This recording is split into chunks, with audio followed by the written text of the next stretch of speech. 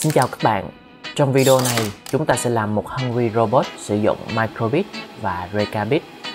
Về phần vỏ, các bạn có thể tải file thiết kế mình đã chuẩn bị sẵn cho Rekabit. Sau đó in nó với một máy in 3D.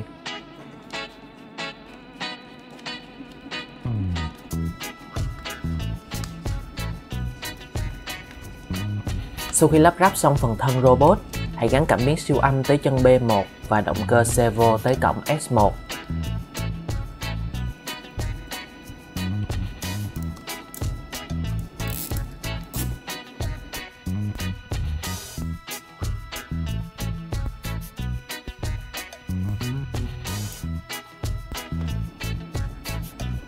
Và cuối cùng, bạn chỉ cần tải sẵn chương trình mẫu lên Microbit, gắn tay robot vào động cơ servo và nhấn nút A để bắt đầu trải nghiệm.